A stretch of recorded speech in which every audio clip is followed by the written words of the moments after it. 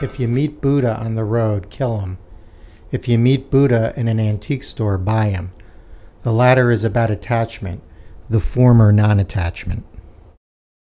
I started a new book, Jacques Roubaud's The Great Fire of London. I found the book at a bookstore near Columbia University years ago, when I used to roam the city in my free time before kids. The book was an attempt to write an historical account of the fire that accidentally turned into a memoir of Roubaud's failed attempt at completing it. At the time, I was reading a lot about London. Ellie and I had traveled there twice years previously, and I became interested in the country's long history from empire to comfortable post empire, a progression the United States is sure to follow, as we are not immune or exempt from being knocked off the top of the hill. American egotism is flagrant and syntonic. The book sat on my shelf for a decade.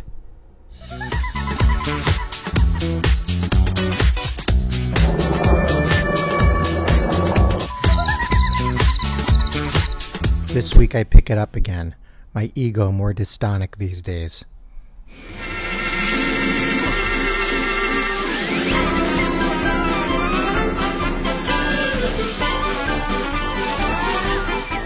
I learned that Roubaud is part of a French writing movement called the Oulipo, which is loosely translated as Workshop of Potential Literature. The group exercised self imposed constraints to break from comfortable patterns and structures. One exercise called N plus 7 takes a text and replaces every noun with the seventh word after it in the dictionary. The Second Amendment of the United States Constitution reads a well regulated militia being necessary to the security of a free state, the right of the people to keep and bear arms shall not be infringed. N plus 7 reads A well regulated miller, bell necessary to the seed bed of a free statistic, the right of the perch to keep and beat her armholes shall not be infringed.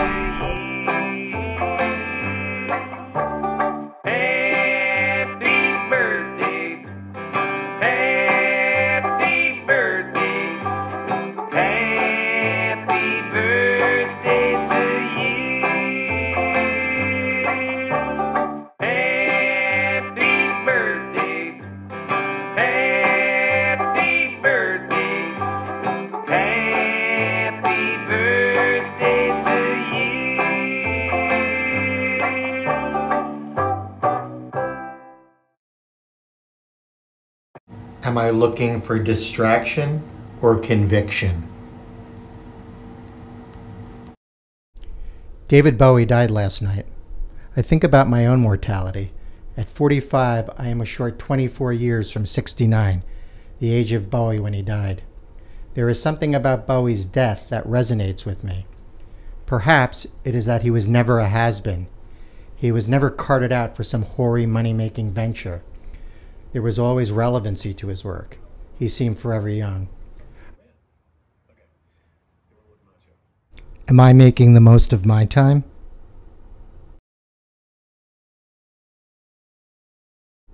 I came of age in the 80s and first saw Bowie on MTV. Let's Dance, Modern Love, and China Girl were in heavy rotation during the early years of MTV when music video was still a burgeoning art form. Bowie mastered it. Put on your red shoes and dance the blues. I had a snarky friend who used to sing China Girl to me, but instead of girl, he replaced it with boy. My little China boy. A pubescent alto to tenor voice cracking through the flare of Bunsen burners in Miss Erlinger's science class. Who cares that I was half Japanese? Oriental was Oriental. There was no distinction. Adolescence in the 80s was a testing ground for patriarchy and white power. Young boys trying to figure out their masculinity and identity in an unchecked, vicious ritual. Teachers rarely got involved in the racial rituals of students. There might be a cut it out or breaking up of a physical fight, but race was not addressed in any constructive way. I had Jewish friends, Asian friends, and a Chilean friend.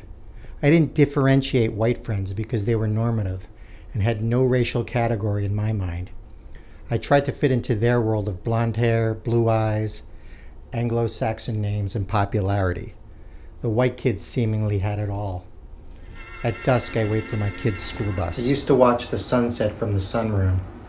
Backs of houses and electrical wires obstructed the view. Dusky orange smoldered between the patchwork of tree branches. I could see the flickering streetlights on the busy boulevard beyond the purple offing. My mother cooked, pots boiling on the stove. My sister played in the living room or watched TV with me. We waited for my father to get home from work before we sat down to eat.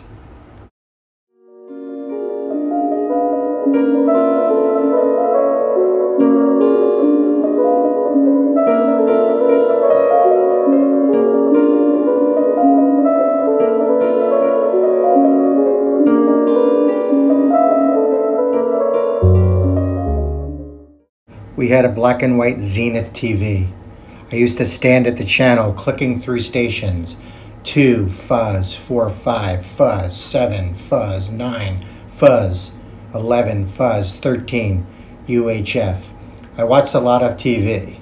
I love Lucy, The Partridge Family, The Brady Bunch, Leave It to Beaver, My Three Sons, Tom and Jerry, The Flintstones, Schoolhouse Rock, Scooby Doo, Super Friends, Hong Kong Phooey, The Amazing Race, Davy and Goliath, the Courtship of Eddie's Father, The Price is Right, Match Game, Card Sharks, Hollywood Squares, Family Feud, The Gong Show, The Joker's Wild, Tic Tac Toe, The Newlywed Game, Name That Tune, Let's Make a Deal, The Wizard of Oz, March of the Wooden Soldiers, Peanuts Holiday Specials, Frosty the Snowman. Frosty the Snowman was a jolly happy soul with a corn cob pipe and a button nose and two eyes made of coal. Frosty the Snowman is a fairy tale, they say. He was made of snow, but the children know he came to life one day. There must have been some magic in that old silk hat they found, for when they placed it on his head, he began to dance around. Frosty the Snowman was alive as he could be, and the children say he could laugh and play just the same as you and me.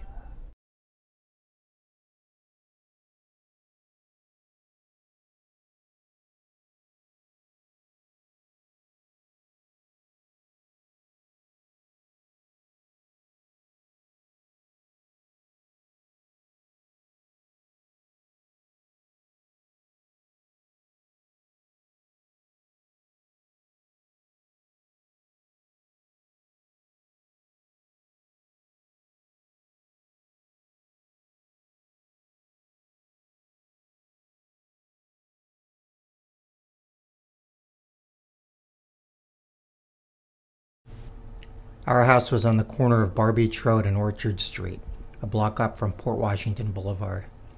I was always drawn to the boulevard. I used to draw intricate town scenes, stores, cars, details in windows, and people going about their day. I used to play with matchbox cars in a friend's gravel driveway up the street. For days on end, we would scrape the gravel clear with plastic punch outs from the handles of plastic milk containers. His family had weekly milk deliveries that were dropped on his porch in a metal cooler. We created roads in a town. This is the hospital, post office, supermarket, police station, school. We lived in the park section, a middle class neighborhood where houses were built close together. Many of the homes had front porches.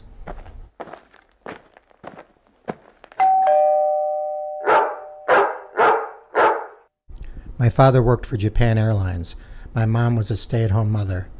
They bought a house in the park section of Port Washington in 1973. It is a small quarter mile grouping of houses right off Port Washington Boulevard. The town, once established on family owned businesses, now has the latest chains.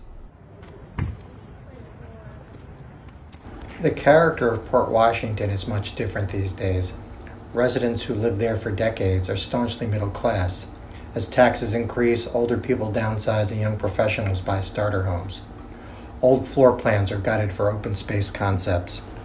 As a child, I heard stories that there were only a few houses in the park section at the turn of the century. There was an unobstructed view down to Manhasset Bay. Some 19th century houses closer to the bay had widow's walks, and other houses were positioned sideways, front doors facing the sides of newer homes built around them. Miss James, an octogenarian woman who lived in the first house on my street, right behind the local Carvel, remembered open grassy fields straight up to Woodlawn Avenue and the sand pits. As modest homes were built, the view slowly gave way to the hopper-esque proximity of the neighbors' private lives. Stone chimneys grew TV antennas, roof satellite dishes, like plants, look for sunlight.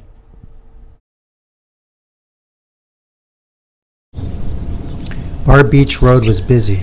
Jane Jacobs believed that a safe neighborhood had eyes watching throughout the day.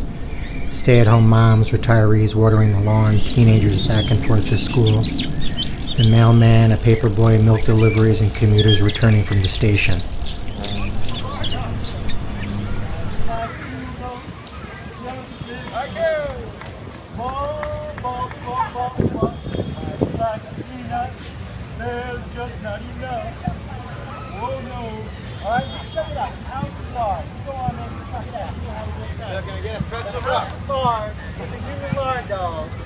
You, have, you like Bing Crosby, if you like Bob Hope, if you like the Beach Boys, if you like the to the Dog. The park section was a 10 minute walk to the Long Island Railroad station, which appealed to yuppie commuters.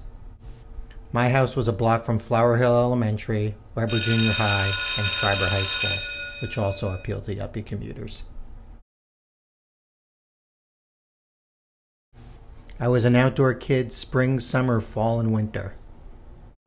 I was allowed to explore the neighborhood on foot or on my Schwinn bike with a banana seat. While there were the occasional headlines of kidnappings and missing children plastered on milk cartons, parents generally felt safe letting their children play unattended. There was no media fed paranoia of lurking pedophiles.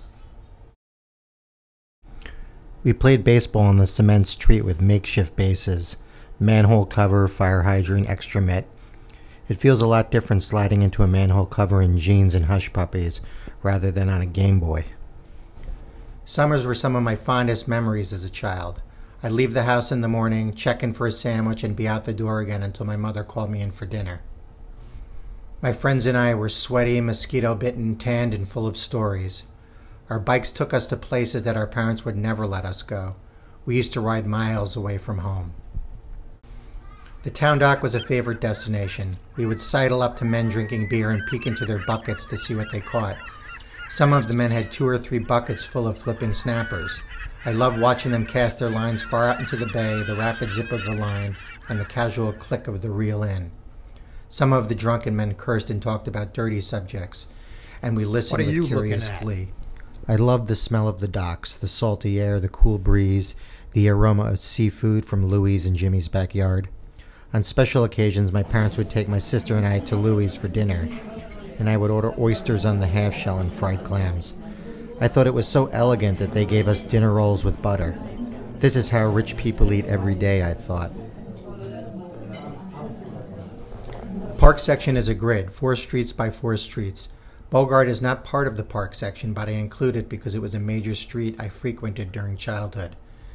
At the bottom of Bogart Avenue was an Exxon station where I filled my tire with free air. The College Point Savings Bank, now Chase, was across the street. The bank parking lot was smoothly paved. We used to coast down the hill on our bikes and turn into the empty bank parking lot, riding in circles like an eddy.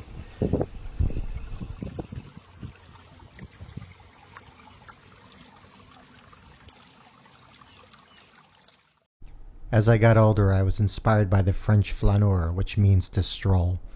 Edmund White, author of the flaneur, describes one as a stroller, a loiterer, someone who ambles through a city without apparent purpose, but is secretly attuned to the history of the place in a covert search for adventure, aesthetic, or erotic. One of the most famous flaneurs was the poet Charles Baudelaire, who was sometimes accused of being the more superficial dandy for his concerns with physical appearances and all the leisurely activities of the bourgeois aristocrat. Edmund White describes the more attuned stroll of the flaneur. The crowd is his domain, as the air is that of the bird or the sea of the fish. His passion and creed is to wed the crowd. For the perfect flaneur, for the passionate observer, it's an immense pleasure to take up residence in multiplicity, in whatever is seething, moving, evanescent, and infinite. You are not at home, but you feel at home everywhere. You see everyone. You are at the center of everything, yet you remain hidden from everybody. These are just a few of the minor pleasures of those independent, passionate, impartial minds whom language can only awkwardly define. The observer is a prince who, wearing a disguise, takes pleasure in everywhere. The amateur of life enters into the crowd as into an immense reservoir of, of electricity.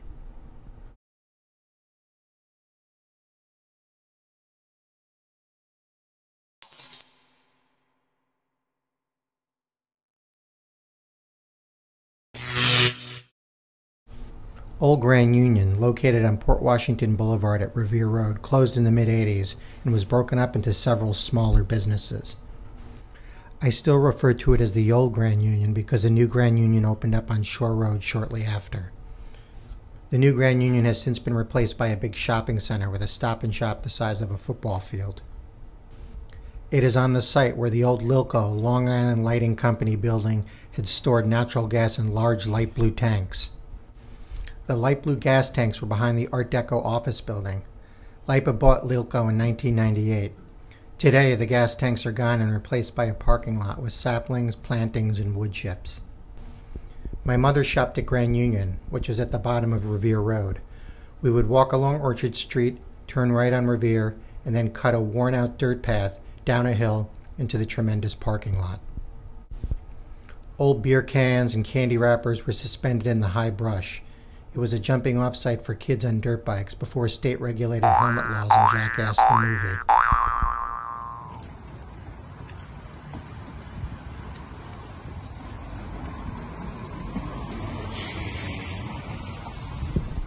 Grand Union had a loose candy bin in the back where you could buy Brach's candy by the pound. Once my sister and I entered the store, we would gravitate right to the bin. The manager of the store was named Wolfgang.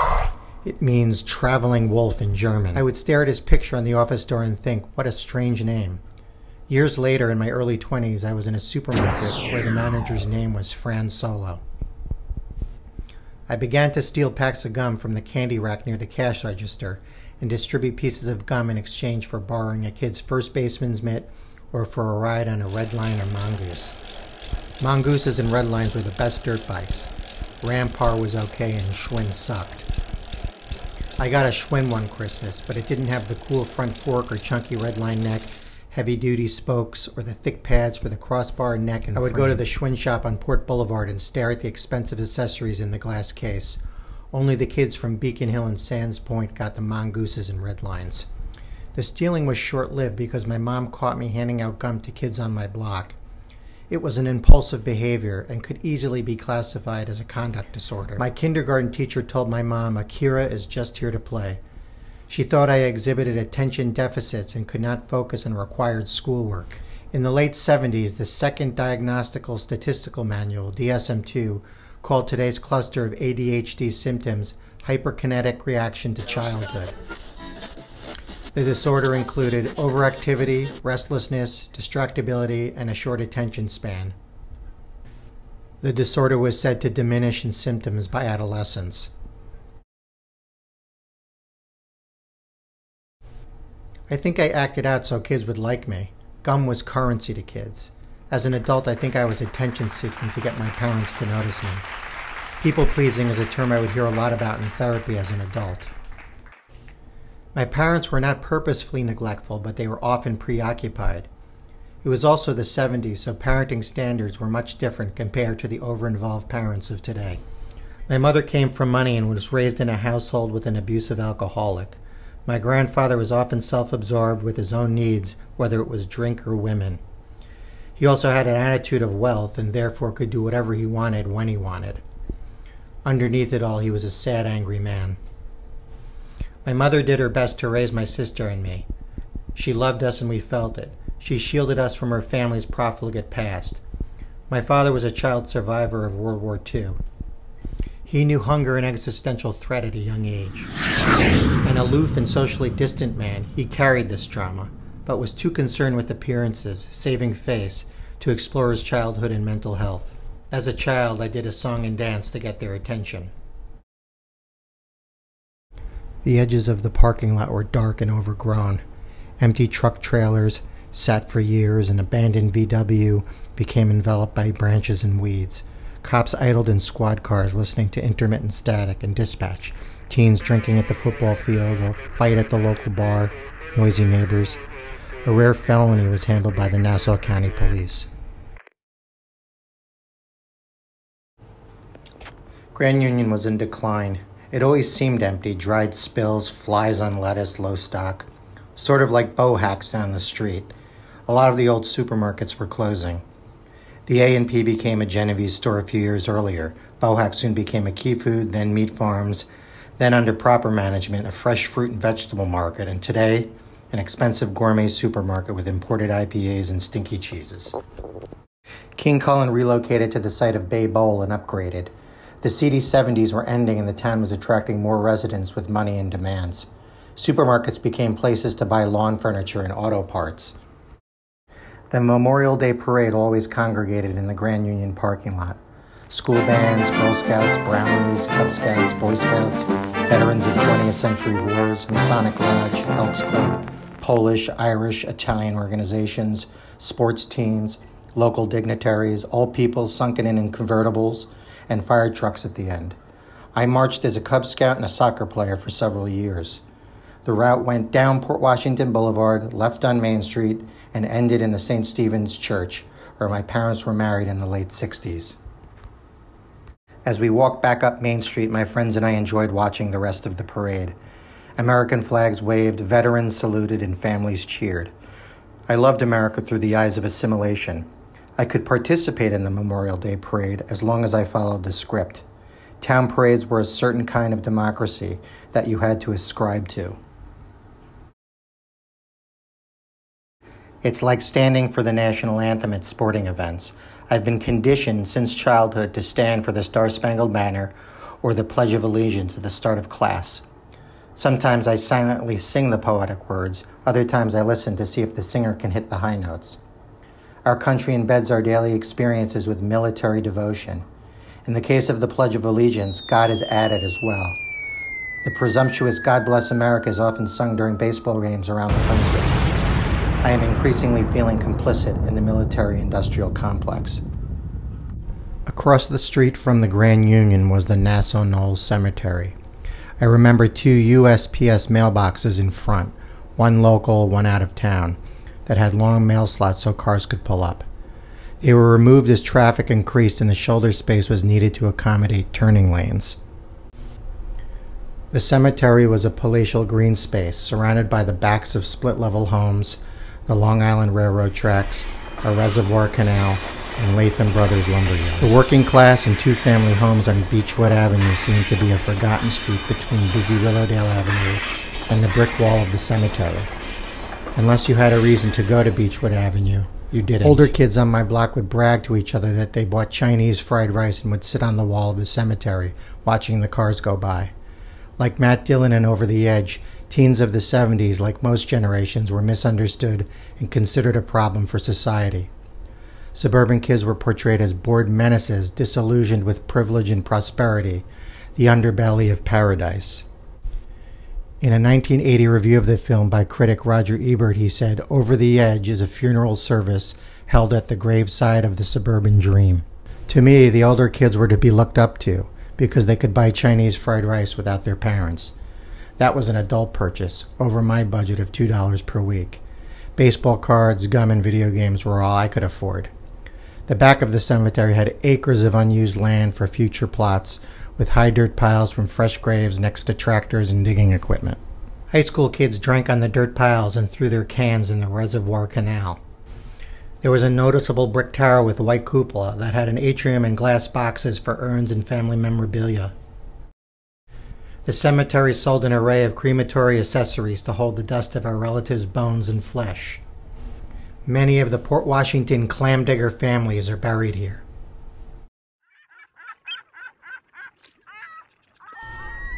Some of these families, the Baymen, were interred in the Free Church Cemetery near the Mill Pond and then moved to the Nassau Knoll Cemetery during the turn of the century. I find cemeteries to be a state of exception. We bury our dead so we can remember them for a finite amount of time. Cemeteries have an expiration date. They crumble and crack and are forgotten. Lichen and moss embalm them.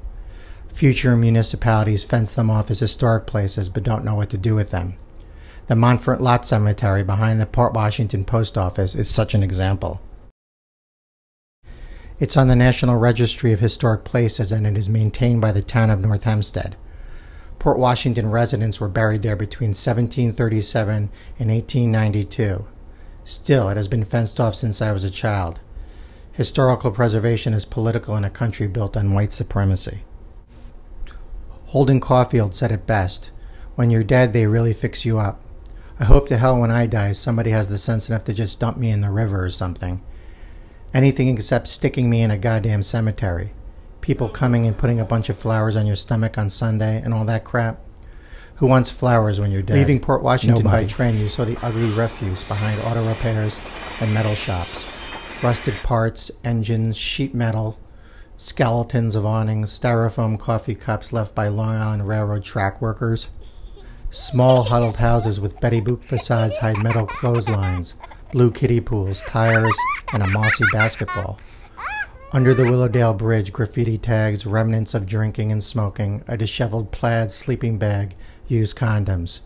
Through the rusty fence of the cemetery, you see the occasional grave stand out, adorned with colorful flowers. Brown bouquets stain gravestones. The sound of caged dogs can be heard from the county shelter where the unclaimed canines are euthanized.